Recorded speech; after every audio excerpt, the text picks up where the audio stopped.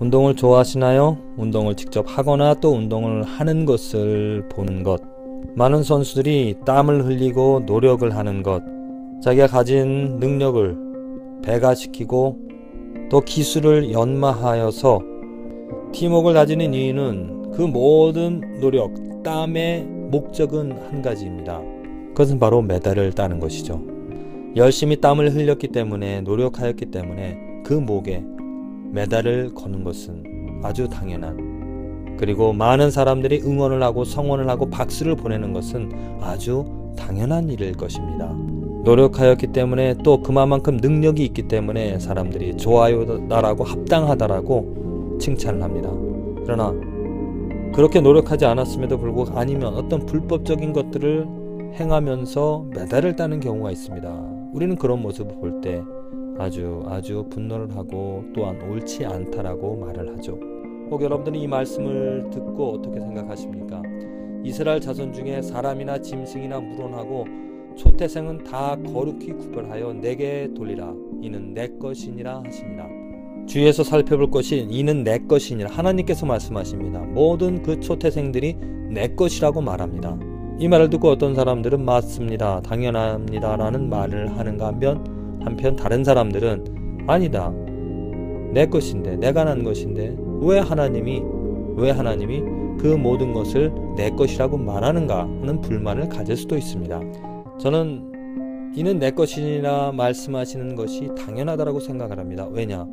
이외에 오늘 어, 출애굽기 말씀을 보면 하나님께서 그 이스라엘 백성들이 노예 생활을 할 때 장자들을 모든 장자들을 모든 장자들의 첫 것의 열매들을 다 거두어 가셨습니다. 그런데 유일하게 이스라엘 백성들의 것만 거두어 가시지 않았다라는 거죠.